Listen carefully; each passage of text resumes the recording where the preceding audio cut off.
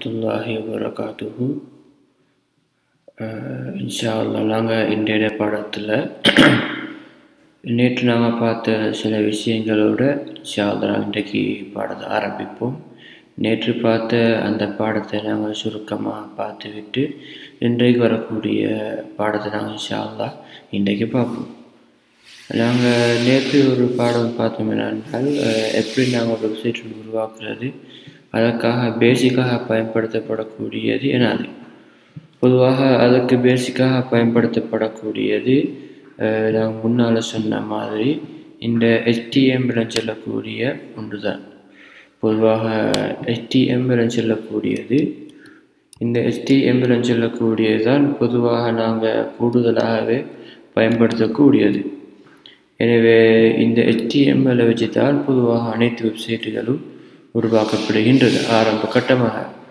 எனவே அந்த அடிப்படையில் நாங்கள் இன்றைய இந்த பாடத்தில் நேற்றைய நாங்கள் பாடத்தில் ஹெச்டிஎம்எல் மூலமாக எவ்வாறு நாங்கள் வெப்சைட்டில் ஆரம்பிக்கிறது என்பதை நாங்கள் பார்த்தோம்.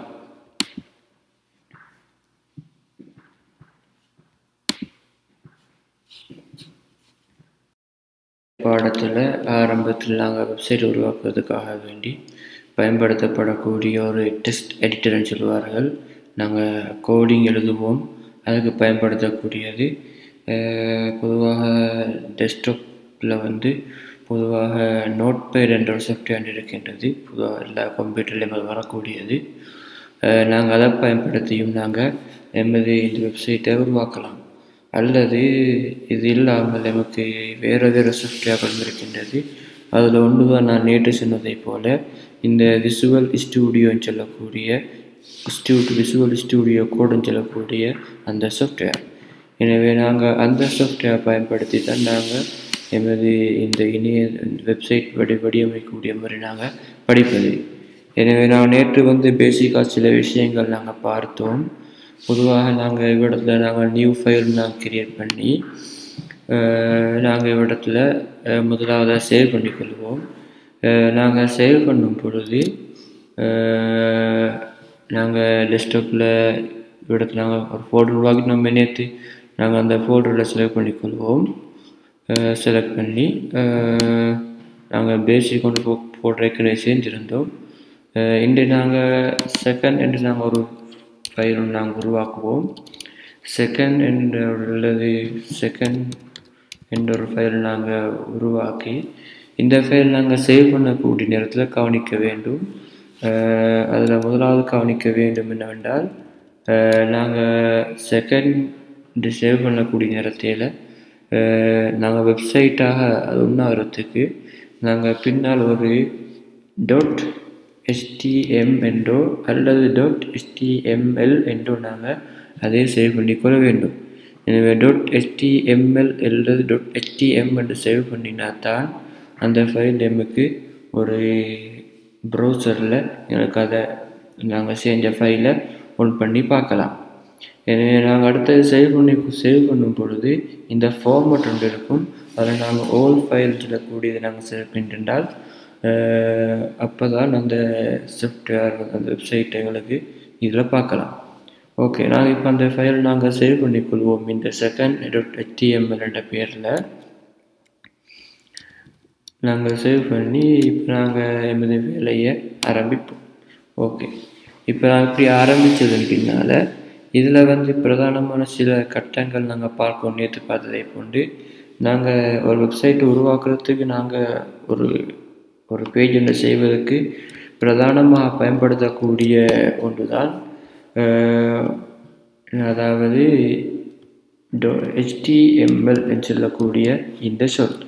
இந்த ஹெச்டிஎம்னு சொல்லக்கூடிய இந்த சொல் இதுதான் நாங்கள் வெப்சைட் ஆரம்பிக்கிறதுக்கும் ஒரு வெப்சைட் ஆரம்ப முடிவு வரை நாங்கள் முடிவுக்கு பயன்படுத்தப்படக்கூடியது.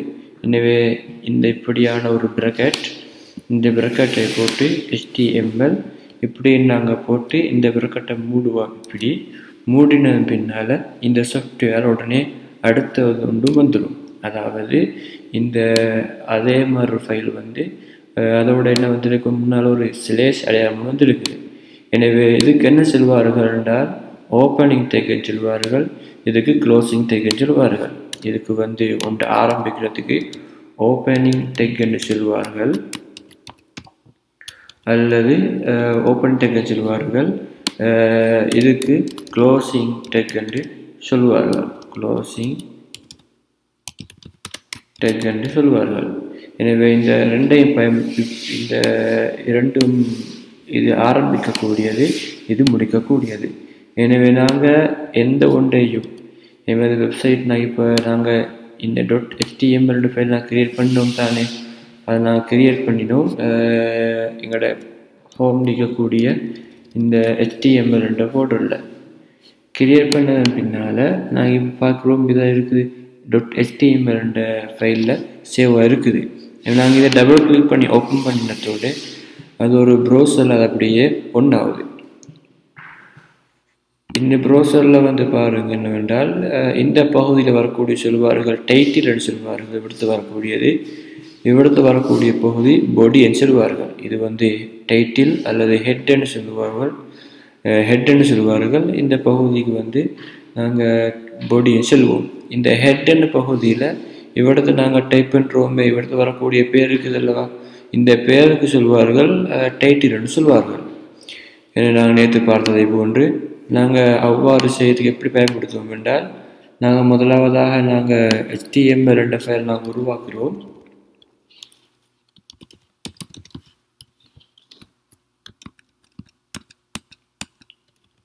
இப்போ எங்களோட இந்த ஹெச்டிஎம்எல் என்ற ஃபைலில் வந்து நாங்கள் இப்போ நாங்கள் ஆரம்ப கட்டமாக முன்னால் சொன்னதை போன்று இந்த ஹெட்ன்னு செல்லக்கூடிய இந்த பகுதி நாங்கள் ஆரம்பிப்போம்.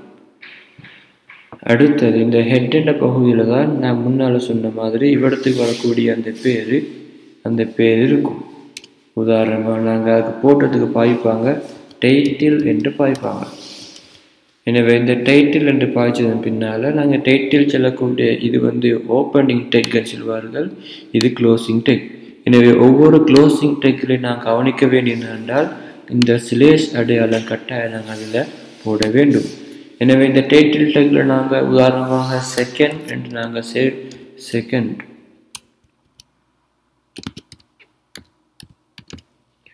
உதாரணமாக நாங்கள் செகண்ட் நாங்கள் போட்டு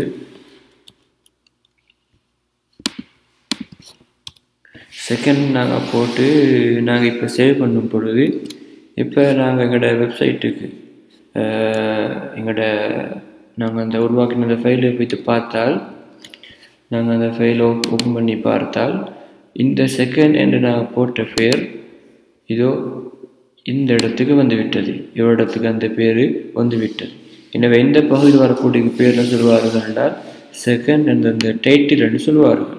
சரி இப்போ இந்த பகுதிக்கு வரக்கூடிய பேர் இப்போ இந்த பகுதியில் வரக்கூடியவைகளுக்கு தானே அவைகளுக்கு நாங்கள் பயன்படுத்தக்கூடிய அமைப்பு என்னவென்றால் இந்த பொடியன் செல்லக்கூடிய டெக் இந்த ஹெட்டுக்கு புறம் வரக்கூடிய பொடியன் செல்லக்கூடிய டெக் எனவே இந்த பொடியன் செல்லக்கூடிய டெக்கை பொறுத்தவரையில் இந்த பொடி என்ற டெக்கில் தான் நாங்கள் வெப்சைட்டில் வரக்கூடிய முழுமையான செய்தியை நாங்கள் எழுதுவோம். இது தான் இந்த பகுதி தான் நேற்று பார்த்தோம். இன்று இதோடு சேர்த்து ஒரு ரெண்டு சில பகுதிகள் நாங்கள் பார்ப்போம். அதில் முதலாவது என்னவென்றால் நாங்கள் எமது இதில் வந்து தலையங்கங்கள் போட்டுறது ஒன்று தலையங்கம் போட்டு ஒன்று எழுத்தை பெருசாக்குறது எழுத்தை சிறுசாக்குறது எனவே இதுக்கு வந்து ஒன்றுக்கு தலையங்கம் போட்டதுக்காக வேண்டி பாய்க்கப்படக்கூடியது என்னவென்றால் பொதுவாக தலையங்கத்துக்கு ஹெட்டிங் என்று சொல்வார்கள் தானே. அந்த ஹெட்டிங் என்று சொல்லக்கூடிய அந்த செல்லுடைய ஆரம்ப எழுத்தாகிய இந்த எச்சை பாய்ப்பார்கள் எனவே இந்த எச்சில் வந்து எமக்கு ஆறு கட்டம் பார்க்கலாம். ஒன்று என்னவென்றால் H one H two H three H four H five H six இந்த ஆறும் தான் எமது வெப்சைட்டுடைய ஹெட்டுக்கு நாங்கள் பயன்படுத்தக்கூடிய ஆறு சொல்கள். எனவே இந்த இது வந்து ஆஹா பெருசானது மிகவும் பெருசானது. ஹெச் டூ என்பது மிகவும் சிறிசு அதை விட கொஞ்சம் சிறிசானது. ஹெச் த்ரீ இன்னும் கொஞ்சம் சிறிசு. ஹெச் ஃபோர் அதை இன்னும் அவ்வாறு சிறுசாகி சிறுசாகி ஹெச் ஆறு வரை சிறுசாக சரி நாங்கள் இப்போ ஒன்றா நாங்கள் அதை பார்ப்போம். அதில் முதலாவது ஹெட் ஒன் நாங்கள் டைப் செய்து ஹெட் ஒன் நாங்கள் டைப் செய்து. கேபிட்டலாக எழுதவும் மேலும் அல்லது சிம்பிளாக எழுதவும் மேலும் எந்த பிரச்சனையும் இல்லை. சரி என்ன நாங்கள் டைப் பண்ணி போட்டு இப்போ நாங்கள் ஹெட்டை திறந்துருக்கிறோம். இங்கே வந்து நாங்கள் மூடி இருக்கிறோம். எனவே இந்த இடத்துல நாங்கள் ஹெட்டிங் ஒன்று போடுவோம். ஹெட்டிங் ஒன் என்று போட்டது பின்னால் இப்போ கவனிங்க நாங்கள் இதை சேவ் பண்ணி நாங்கள் திறந்து அந்த ஃபைல் இருக்குது அல்லவா? அந்த ஃபைலில் நாங்கள் போகும் பொழுது ஓகே அந்த ஃபைல் நாங்கள்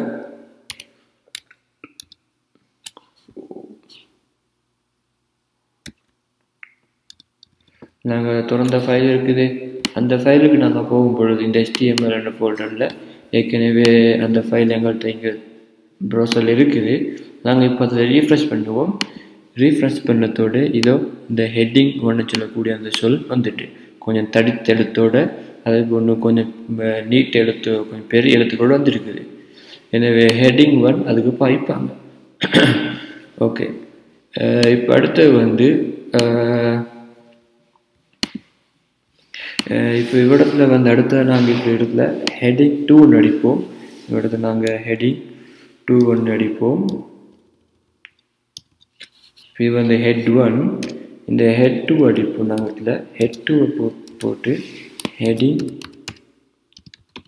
டூ என்று போட்டு நாங்கள் சேவ் பண்ணுவோம். சேவ் பண்ணது பின்னால் இப்போ நாங்கள் இங்கே ரீஃப்ரெஷ் பண்ணும் பொழுது கவனிங்க ரீஃப்ரெஷ் பண்ணும் பொழுது இதோ இந்த ஹெட்டிங் ஒன்றை விட சிறுசாக ஹெட்டிங் ரெண்டு வந்திருக்குது. ஹெட்டிங் ரெண்டு ஹெட்டிங் ஒன்றை விட சிறுசாக வந்திருக்குது.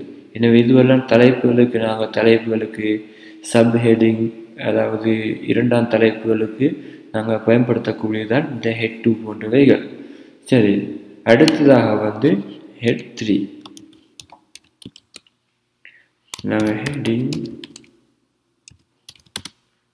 த்ரீ அதே போன்று நாங்கள் head four head four heading four heading அப்புறம் ஹெச் ஃபைவ் heading ஃபைவ் அப்புறம் ஹெச் சிக்ஸ் heading சிக்ஸ் நாங்கள் போட்டு இப்போ சேவ் பண்ணது பின்னால் இந்த இடத்துக்கு போனால் இப்போ எங்களுக்கு என்ன செய்யலாம்? இது ரீஃப்ரெஷ் பண்ணுறதோட இதோ நாங்கள் சொன்ன போன்று ஆறு ஹெட்டிங்களும் வந்திருக்குது. எனவே ஆறாவது ஹெட்டிங் மிகவும் சீரியஸான ஹெட்டிங். எனவே இவ்வாறு இந்த ஆறு ஹெட்டிங்களை நாங்கள் இந்த வெப்சைட்டில் கிரியேட் பண்ணக்கூடிய நேரத்தில் நாங்கள் இந்த ஹெச்டிஎம்எல்ல பயன்படுத்தக்கூடிய முக்கியமான ஒரு பகுதி தான் இந்த ஹெட்டிங் சொல்லக்கூடிய இந்த பகுதி. எனவே இது நாங்கள் வெப்சைட் செய்யும் பொழுது இந்த ஹெச்டிஎம்எல்ல படிக்கக்கூடிய முதலாவது பாடம் இரண்டாவது பாடம். ஆரம்பத்தில் நாங்கள் பேசிக்காக எவ்வாறு உருவாக்குறது இந்த ஹெச்டிஎம்எல் பகுதி ஆரம்பிக்கிறது அதோடைய ஹெட் பகுதி இப்போ பொடி பகுதி நாங்கள் பார்த்தோம். இப்போ வந்து இந்த ஹெட் என்ற பகுதி நாங்கள் பார்த்தோம். அடுத்ததாக நாங்கள் பார்க்கக்கூடிய பகுதி என்னவென்றால் பெரகிராஃப் சொல்லக்கூடிய பகுதி. அதாவது பெரகிராஃப் பெரகிராஃப் இந்த பெரகிராஃபுடைய ஆரம்பத்தில் இருக்குது இந்த பியை கொண்டு அந்த பெரகிராஃபை நாங்கள் ஆரம்பிப்போம். இந்த ஹெச் சிக்ஸ் போன்று நாங்கள் பிளக் இந்த பிரகட்டில் பி என்று போட்டு ஆரம்பிப்போம். எனவே இதில் நாங்கள் ஆரம்பிக்கும் பொழுது உதாரணமாக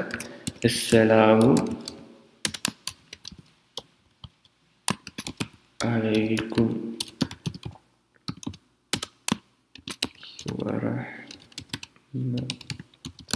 வரஹ்மத்துல்லாஹி வபரகாத்துஹு வபரகாத் வபரகாத்துஹு நாங்கள் இதை டைப் பண்ணதோடு இப்போ இந்த பகுதியில் நாங்கள் ரீஃப்ரெஷ் பண்ணி போகும் பொழுது இது நாங்கள் இந்த ரெண்டுக்கும் வித்தியாசத்தை பாருங்கள் இந்த அஸ்லாம் அலைக்கும் என்ற சொல்லுக்கும் இந்த ஹெட்டிங் சொல்லக்கூடிய இந்த பகுதிக்கும் வித்தியாசம். இந்த ஹெட்டிங் என்ற பகுதியில் எல்லாம் எழுத்து போல்டாக இருக்குது. கண் கனமான எழுத்தாக இருக்குது. ஆனால் இதில் போல்டு இல்லாமல் நார்மலாக இருக்கின்றது. அதுதான் இந்த பிரகிராஃபுக்கும் இந்த ஹெட்டிங்கும் வித்தியாசம்.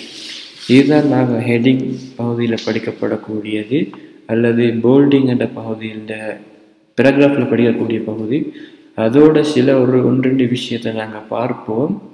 அஹ் இதோட சேர்த்து இப்போ நாங்கள் சில நேரங்களில் அரபுகள் பயன்படுத்தும் பொழுது அரபுகள் வந்து இந்த சைட்லேருந்து ஆரம்பிக்காது. அரபு வந்து பொதுவாக என்னது இந்த பகுதியிலிருந்து அரபி ஆரம்பிக்கும். எனவே அதுகளுக்கு நாங்கள் எவ்வாறு பயன்படுத்துறது?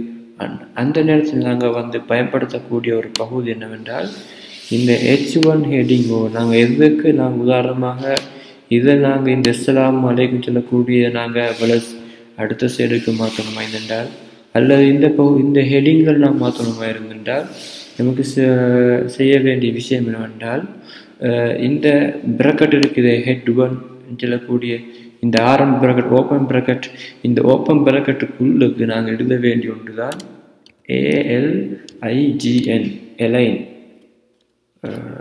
right A L I G N align இந்த எலைன் சொல்லக்கூடிய இந்த வார்த்தையை பயன்படுத்தி என்ன செய்வாங்க? என்ன செய்யலாம்? எமக்கு இதை வலது சைடுக்கு இடது சைடுக்கு நடுவுக்கு மத்தியில் எங்களுக்கு எடுக்கலாம். எனவே இந்த எலைன் என்ற வார்த்தையை வச்சு நாங்கள் என்ன செய்யலாம்?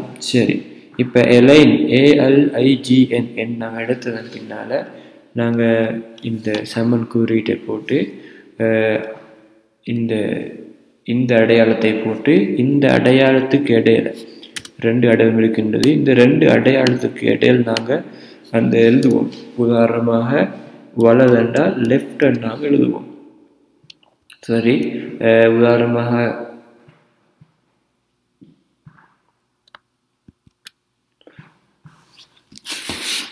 உதாரணமாக நாங்கள் லெஃப்ட்டுக்கு போடணும் என்றால் நாங்கள் லெஃப்ட் நாங்கள் எழுதுவோம் இப்போ போட்டு நாங்கள் சேவ் பண்ணுவோம். ஒரு மா சேவ் பண்ணுவோம் சேவ் பண்ண பின்னால் எந்த ஒரு மாற்றமும் இதில் இந்த பகுதியில் இந்த எமது இந்த இந்த இலை வந்து வளைஞ்ச மாதிரி இருக்கின்றது இப்போ நாங்கள் இந்த இந்த இலையினை வந்து நாங்கள் இந்த ஹெட் டூக்கு நாங்கள் போடுவோம். இலையின்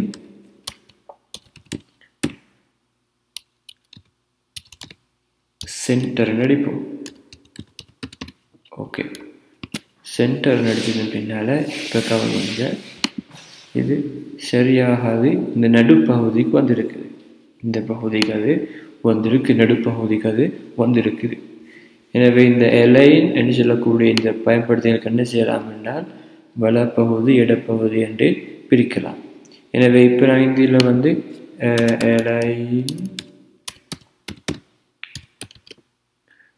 ரைட் நடிப்போம் இப்போ பார்த்தனால் இது ரைட் சைடுக்கு வரப்போகின்றது.